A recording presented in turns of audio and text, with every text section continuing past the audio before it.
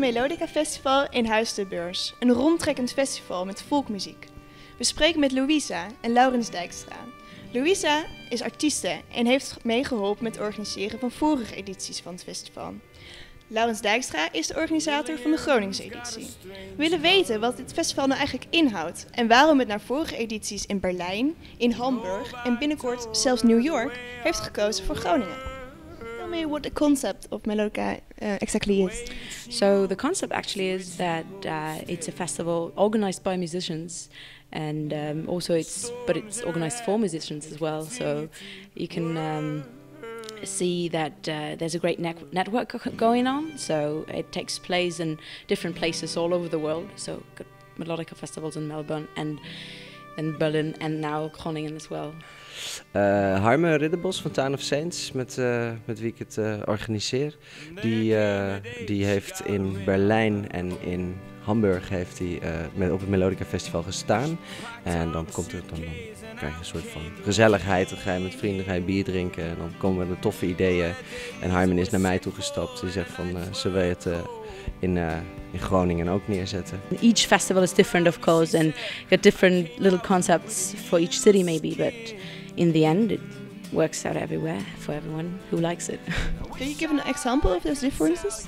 I heard I haven't been to Re the Reykjavik uh, Melodica Festival but for example I think that they got different venues and they switch the places and then you got for example Hamburg which is just it takes place at one place but um, yeah it's it, it depends on the city a, a bit and on of, of course on uh, the organizer.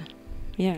Wat wij neerzetten op zo'n festival, het zijn niet de bekende namen, dus mensen komen niet voor de bands kijken, ze komen voor de muziek.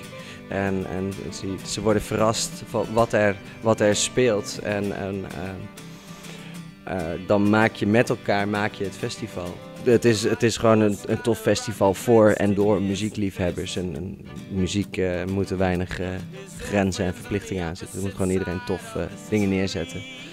I played at Melodica Hamburg and that was just a week of fun and joy and music and it made me feel yeah that was when I kind of got infected by the, the great idea of Melodica and the national international feeling of touring as well. Het idee daarachter, denk ik, of wat mooi zou zijn, is dat er gewoon muzikale vriendschappen ontstaan tussen Groningers en uh, tussen uh, internationale mensen die hier gewoon het weekend zijn om feest te vieren en te spelen en met z'n allen muziek te maken.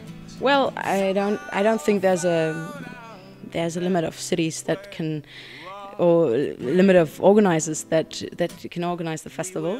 But yeah, in the end, it's I think it's important that it's um, it's not it's non-profit, so it's not being it's not being aimed at getting commercial and having a great festival with, with uh, like 60,000 people maybe, but rather um, having this kind of atmosphere.